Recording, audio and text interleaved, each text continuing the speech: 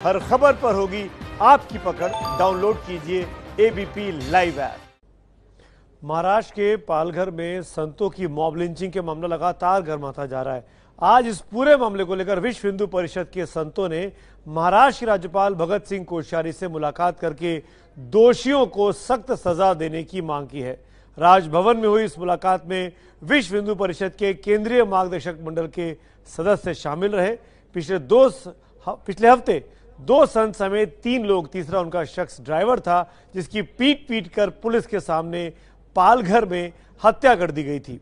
Police दो अफसरों को सस्पेंड कर चुकी है। सौ से ज़्यादा लोग पकड़े गए हैं, जिनके नाम पर एफआईआर है, जो इस वक्त पुलिस की हिरासत में हैं। और अब इन्हीं लोगों के खिलाफ सख्त कार्रवाई करने को लेकर वीएचपी के साधुओं ने राज्यपाल भगत सिंह कोश्यारी से आज मुलाकात की है।